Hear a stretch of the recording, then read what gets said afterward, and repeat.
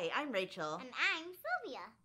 We'd like to wish you a very happy Mother's Day. This piece is called Mother is a Priceless Jewel, and it's written by Godwin Sadoh. He's from Nigeria.